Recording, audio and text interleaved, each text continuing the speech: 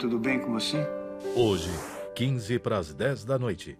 Dagoberto quer a ajuda de Sofia para se aproximar de Andréia.